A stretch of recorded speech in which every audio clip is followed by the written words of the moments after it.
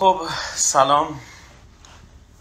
سلام و وقت به خیر به همه شمایی که لطف می‌کنین و شبا در کنار هم میاین پیش من توی صفحه من همراه میشین و توی این جمع نه چندان مجازی با هم کتاب می‌خونیم. متشکرم که دقت می‌کنید و گوش می‌دید. خیلی مخلصیم. ارز کنم به حضورتون که من فقط قبل از اینکه چهارمین شب رو رسما شروع کنم با ادامه خانش سریال سریال میگم کتاب در فاصله دو نقطه سرکار خانم در رودی عرض می‌کنم که قسمت های قبل رو می‌تونید در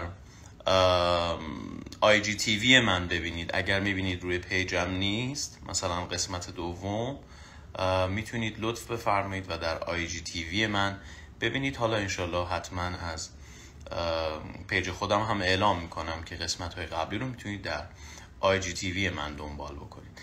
خیلی ممنونم از همتون. به همتون سلام می‌کنم. ببخشید نمی‌تونم پاسخ تک تک سوال ها رو بدم.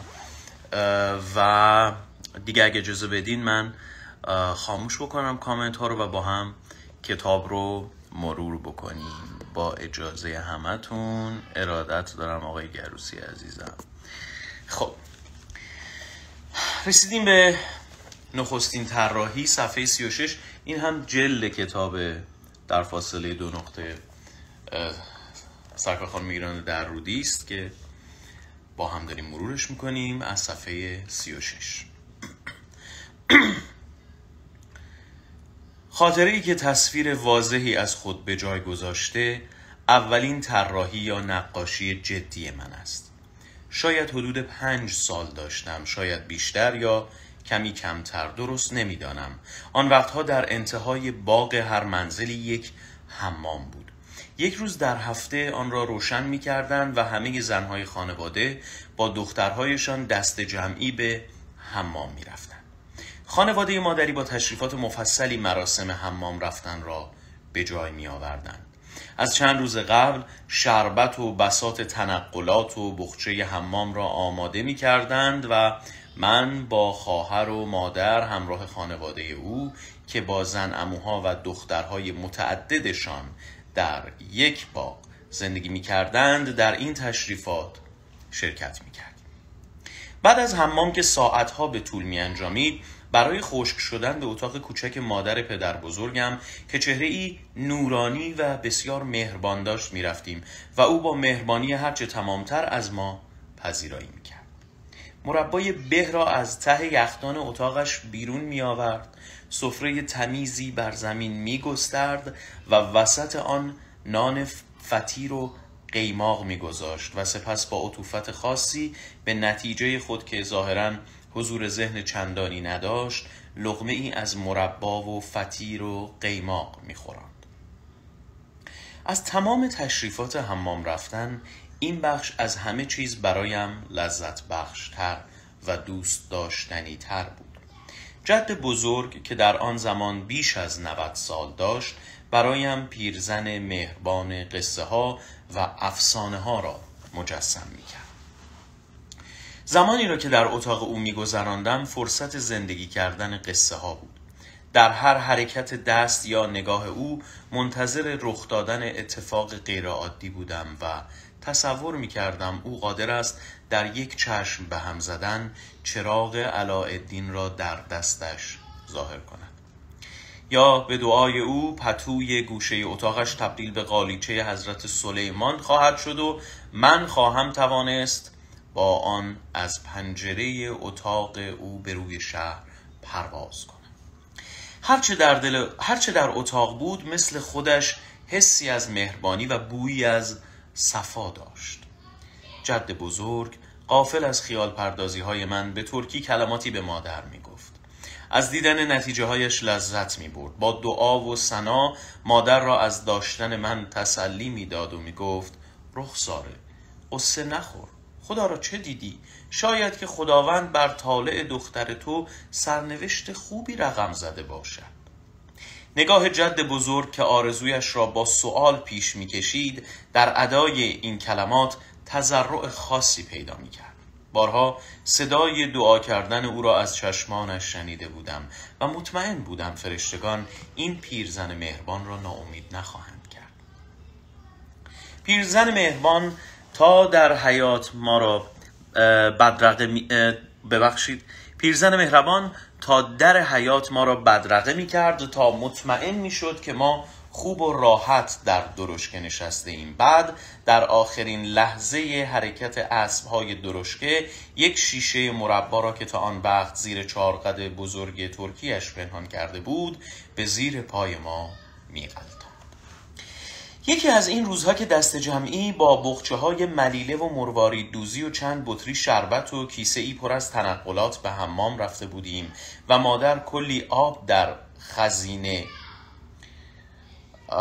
مرا کرداد و بی توجه به فریادهایم از سوزش صابون سرم را چند بار شست در انتظار بیرون رفتن از حمام و دریافت شیشه مربا از جد بزرگ روی یک برگ کاغذ افراد حاضر در حال استهمام را با مدادی طراحی کردم آیا این تصویر از آن دست تصاویری بود که بچه ها اکثرا در این سن می‌کشند یا قدری جدیتر؟ قدر مسلم این بود که در این نقوش دختر امو از دختر امه باز شناخته می‌شد. برایم مبهم است که چه چیزی باعث شده بود که من در صدد مخفی کردن این به اصطلاح طراحی برایم. ماجرا از این قرار بود که مادر این طراحی را زیر قالیچه اتاق خوابش پیدا کرده بود و مرا در این مورد شدیداً بازخواست کرد. نگاه سبز و مبهوت مادر را خوب به خاطر دارم که خشمی همراه با شگفتی و تعجب در آن موج می‌زد. او مرتب نگاهش را از روی من به طراحی میانداخت و هر بار لحن صدایش کوبنده تر می‌شد و می‌گفت نه این که دخترم اوست خودش است. و این یکی هم دخترمه کاملا مشخص و واضح است. چه شباهتی. من که تا کنون خشم مادر را نسبت به خود نمی شناختم از این لحن سرد و آری از مهربانی همیشگی او مات و مبهوت بودم. مگر چه گناهی مرتکب شده بودم؟ مگر دختر عموی اوریان با دختر عموی پوشیده فرقی دارد؟ واجه های شرم و حیا و یا خجالت چه مفهومی دارند که مادر آنها را پشت سر هم تکرار می کند این نخستین باری بود که مادر مرا مستحق تنبیه شدن و سزاوار دریافت ضربه ای میافت طراحی را با حرکتی تند و محکم به سرم کوفت با این حرکت احساس ناشناخته ای از گناه و شرم در وجودم رخنه کرد. بد و خوب کدامند؟ گناه چیست؟ اصلا خواهر کجاست که این بار نیز دلیلی موجه برای کار من پیدا کند و اگر خطایی در کار است باز مثل همیشه آن را به عهده بگیرد. مادر ادامه می‌داد که اگر این را به پدر نشان بدهد و او دختر اموها را اوریان ببیند اوضاع برای من وخیمتر خواهد شد. بهتر است که قضیه در همین جا و برای همیشه پایان بگیرد و مدرک جرم از بین برود. اینطور بود که اولین طراحی جدی من در دست مادر مچاله شد. پس از مدتی صدای مادر لحن عادی خود را باز یافت دیگر تکرار نشود. تو می باید از همه کسانی که تصویر اوریانشان را کشیده ای خجالت بکشی و از یکایکشان معذرت بخواهی آن شب سر میز شام با حضور پدر اشاره یا صحبتی در این باره نشد و کسی واژه حمام را به کار نبرد. در دلم از مادر تشکر کردم که چیزی در این مورد یا حداقل در حضور من به پدر نگفت. گرچه این تنبیه مادر سبب قطع رابطه چند ساله من با نقاشی شد ولی مسیر مرا عوض نکرد. سالها طول کشید تا روزی دو مرتبه قلم به دست گرفتم و تصویری از شباهت های عینی یا ذهنیم را ارائه دادم. از آن پس جز خودم هرگز کسی مرا در ارتباط با تصاویری که می آفرینم تنبیه نکرد. چقدر ظالمانه و گاه بیرحمانه است این تنبیه. آثاری را که به دلایلی دوست نمیدارم میسوزانم در شعله هایی که با ریختن نفت بر نقاشی ها ایجاد می کنم سوختن قسمتی از وجودم را می بینم آن قسمت از وجودم را که درد می کند ولی چاره ای جز از بین بردنش نیست. چندی از اقامت ما در خانه نزدیک گنبد سبز میگذشت که کم کم منزل سر و شکل آبرومندانه ای به خود می گرفت. پدر این بار اسباب و اساسیه منزل را در نجارخانه ای که به راه انداخته بود می ساخت. اتاقها به مرور فرش می شدند و یکی از اتاقها را به من و خواهرم اختصاص دادند و پیانو را در اتاق ما گذاشتند. نخستین درس پیانو را مادر به ما داد اما پس از آن هر دو از یک خانم روس درس خصوصی پیانو می گرفتیم و با درشکه به کلاس پیانو می رفتیم درشکه سواری به اندازه درس پیانو لذت بخش بود همسایه ها از صدای پیانو با تمرین های اولیه ما در امان نبودند کنار حیات ورودی آبنبار خانه با پله های تند قرار گرفته بود که آب آشامیدنی ما از آن تأمین می شد. چند بار وجود کرمهای کوچک در ته کاسه مرا ترسانده بود تا اینکه روزی پدر با ظرفهای بزرگ چینی با لوله های پیچ در پیچ آب آشامیدنی ما را تصویه کرد. روزی به خاطر بستن یکی از شیرهای این دستگاه تصفیه تنبیه شدم و این نخستین تنبیه من توسط پدر در کودکیم. پدر پس از اینکه روی دستهایم که به دستور او جلویش گرفته بودم ضربه محکمی نواخت مرا با تعجب زیادی ورانداز کرد. انگار به این مسئله مشکوک بود که شاید رابطه این لوله ها و نحوه عمل کرده مخزن ها را می شناسم و به موقع از یک آبریزی جلوگیری کردم. اما دستور پدر این بود که کسی به مخازن و شیرهایش دست نزند. در واقع من از دستور سرپیچی کرده بود پدر برافروخته و متعجب مرا که کوچکترین غمی از دریافت ضربه نداشتم مینگریست من تنبیه نشده بودم بلکه برای نخستین بار با ذهنم حضور پیدا کرده بودم. چندی بعد تعجب پدر تبدیل به حیرت شد زیرا مهره های شطرنجی را که در نجارخانه اش تراشیده بود و به رنگ قرمز و سفید درآورده بود در ایوان منزل چیده بود که دوباره رنگ کردمشان. در واقع برای اینکه رنگ مهره ها یک دست شود دو مرتبه آنها را در جعبه رنگ فرو بردم و پس از خشک شدن آنها را روی صفحه شطرنج به طرز مرتبی چیدم. پدر همه را بازخواست کرد اما به تنها کسی که سوء زن نبرد من بودم. پیش قدم شدم و اقرار کردم. انگار راضی نمی‌شد. رنگ زدن یک دست و از همه مهمتر درست چیدن مهره ها نمی‌توانست کار من باشد. برای اینکه خود را قانع کند که با این اقرار خواهرم را حمایت می کنم با لحن کنایه آمیز پرسید حتما میفرمایید بازی شطرنج را هم بلد هستید؟ پاسخ دادم کمی. خشم پدر به رنگ مهره ها شد. دروغ دروغ هم حدی دارد. این بار دستش را محکم بر گونه هم کوبید. مادر سراسیمه فریاد زد علی بس کن. پدر دستور داد گونه هایش را ببوسم و نزد او روی صندلی بنشینم. اشکایم از شدت درد سرازیر شده بود. مادر از واهمه اینکه صدای گریه ام بلند نشود با دست به من اشاره کرد و گفت اما مگر مادر در عشقهای بی صدای من فریاد کدام اعتراض را شنیده بود که مرا به سکوت دعوت کرد؟ یا اینکه توان تحملم را با میزان سکوت به آزمایش می‌گذارد به هر حال دستور سکوت مادر دردناکتر از سیلی پدر بود. خوشبختانه دیگر پدر ادامه نداد. اجازه مرخصی را صادر کرد. بروید در اتاقتان. پدر هر وقت می‌خواست کلام تندی بگوید دیگر کلمه تو را به کار نمی برد با این کار رابطه صمیمانه را به رابطه رسمی تبدیل می کرد تحمل کلمه شما یا بفرمایید پدر که فرسنگ ها فاصله را در لحظه ای به وجود می آورد همیشه برایم دشوار بود و دشوارتر از همه تحمل استکاک های او و مادر بود که اکثرا از تفاوت های فرهنگی ترک و فارس مایه می گرفت و در عالم کودکی فضای عجیب و دلهور آوری برایم می ساخت. با اینکه هر دو با هم فارسی صحبت می کردند انگار واژه ها و کلمات برایشان مفهومی همسان نداشتند و توضیح بیشتر هر یک از آنها درک مسائل را برایشان پیچیده تر می کرد و سرانجام لاینحل باقی می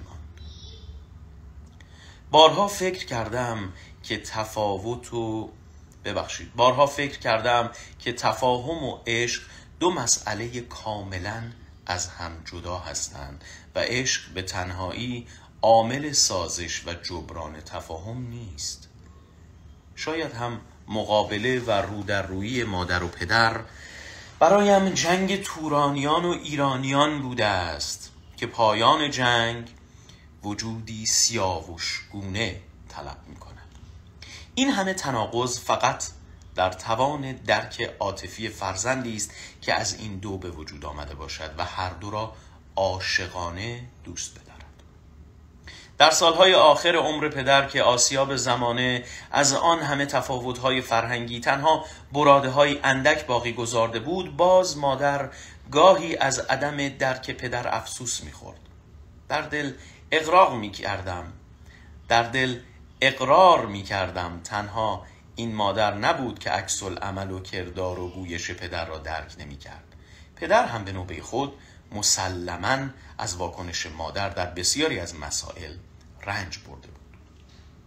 در واقع عشق بیدریق مادر به پدر که از نخستین روز ازدواجشان آغاز شد و تا آخرین لحظه های حیات پدر ادامه یافت باعث شده بود که مادر همیشه در آخر گفتگوها تسلیم شود و سکوت اختیار کند.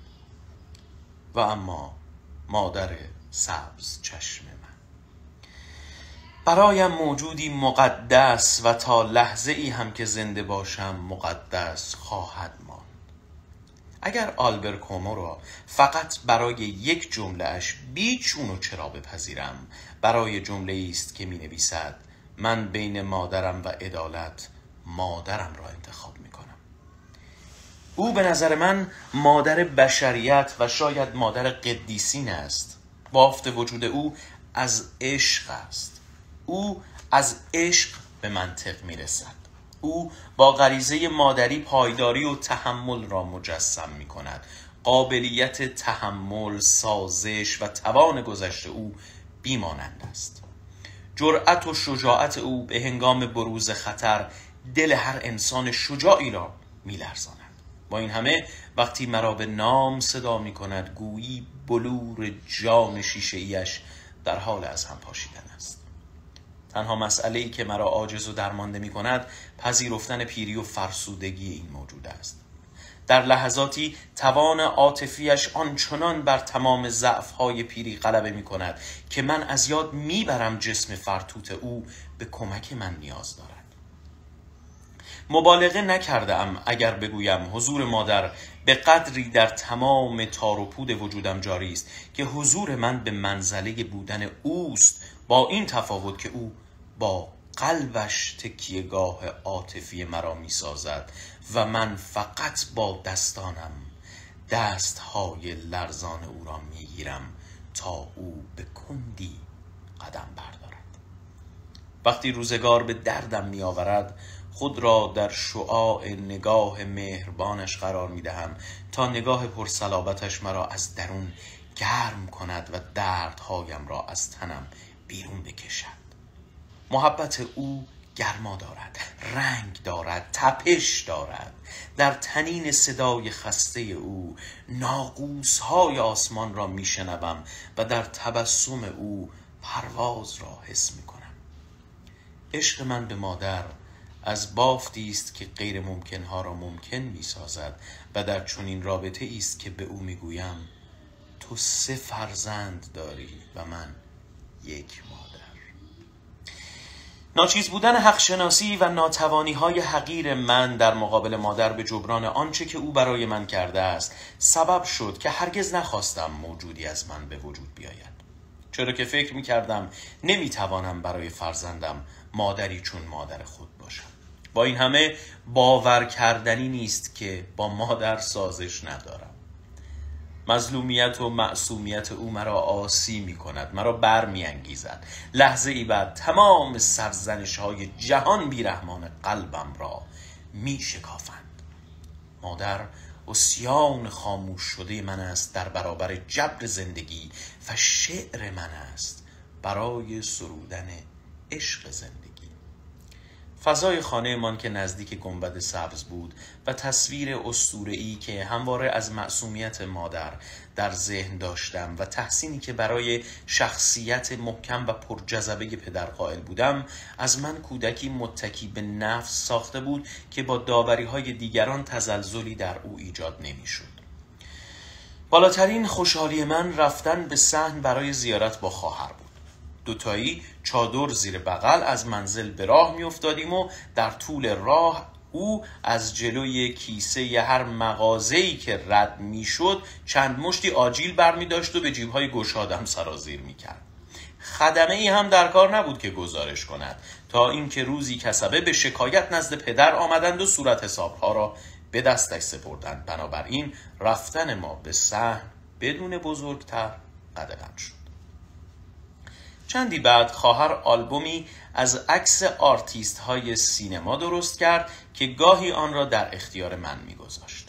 به زودی آن هم بساطش برچیده شد چرا که باز صاحب خرازی صورت حساب دیگری به دست پدر داد.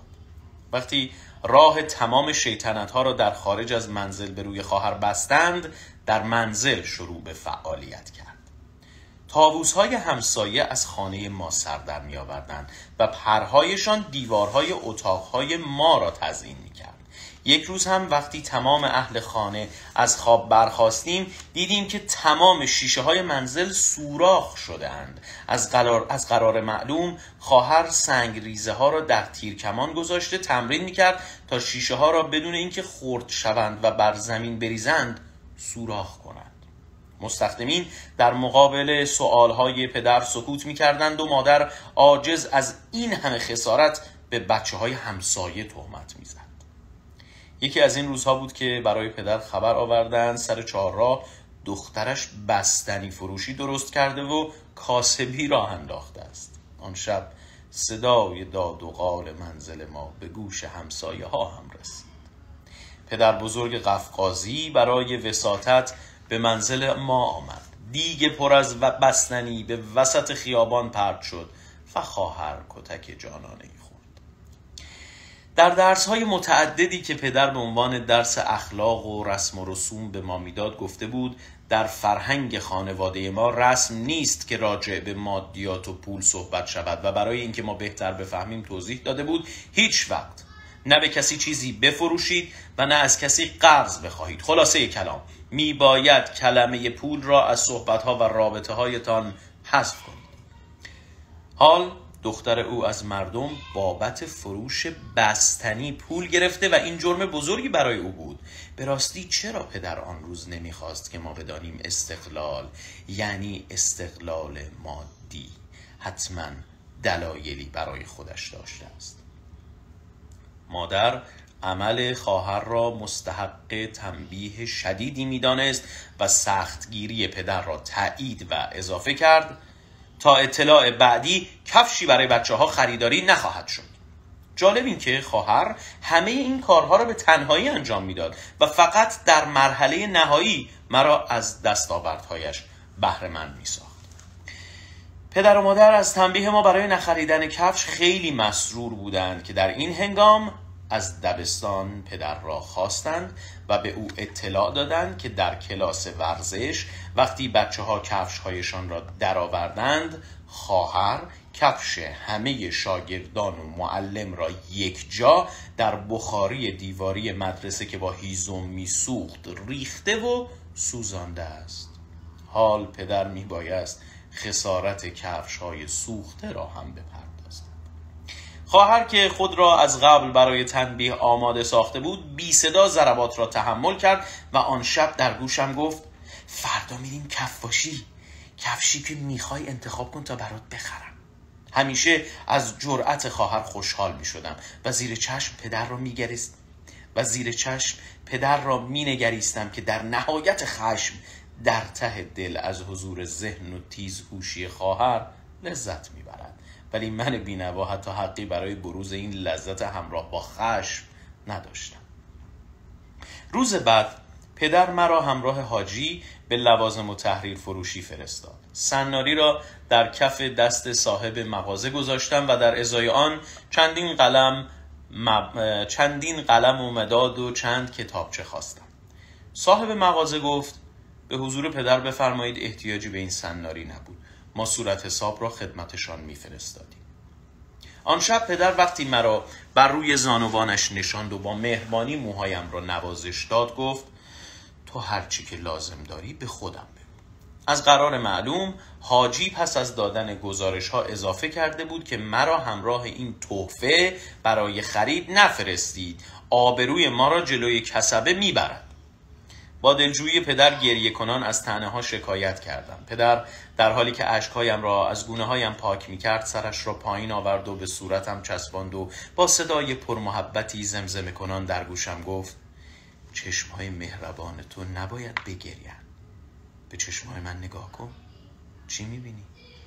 من که در فاصله بسیار کمی چهره پدر را می نگریستم بی اختیار گفتم پدر چشمان شما بسیار درشت و زیبا هستند. ای کاش مال من هم به درشتی مال شما بود. پدر بی آنکه صورتش را که حالا از اشکهایم مرتوب شده بود از صورتم بردارد گفت چشمانی که با مهربانی زیبایی را مینگرند زیبا هستند. وقتی که بزرگ شدی به اندازه کافی درشت خواهند شد. با یک حرکت سرم را عقب بردم و معصومانه با انگشتانم پلک پایینی چشمانم را پایین کشیدم و پرسیدم پس چشمانم به این بزرگی خواهند شد؟ پدر گفت از این هم بزرگتر. و سالها پدر هر بار با به یاد آوردن حرکت من برای درشت کردن چشمانم میخندید و با تبسم مهربانی می‌پرسید بالاخره درشتر شدن یا مهربانتر؟ و این کلمات ساده رازی شدن بین من و پدر. همان روز با پدر به مغازه اسباب بازی فروشی رفتیم و باز مثل همیشه یک مداد پاک کن و یک جعبه مداد رنگی خواستم. پدر مرتب عروسک ها را نشانم می‌داد و گوش زد می کرد که اینجا اسباب بازی فروشی است. تا اینکه ناگهان بغزم ترکید و از صاحب مغازه یک جفت کفش خواستم.